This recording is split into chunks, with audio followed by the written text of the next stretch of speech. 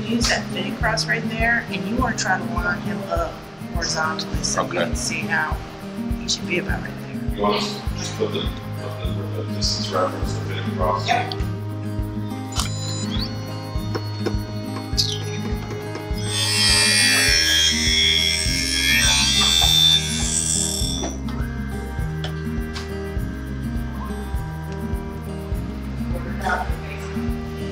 So when you trace this up, if this is a quarter and this is zero, how much do you think that is? This is the only optical um, program in the entire state of North Carolina, and we have 100% job placement. Most of our students, um, by the second year, have already had 100% job placement. What do you think about this one? This is pretty. Try that out for me.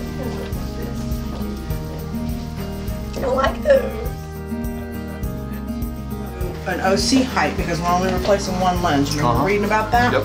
And since we're only replacing one lens, we have to make sure that the optical center height is going to end up being the same. uh, coming from the optical field already, you know, there's a lot more to it that I'm learning about than you know, other than just selling glasses that I didn't know about.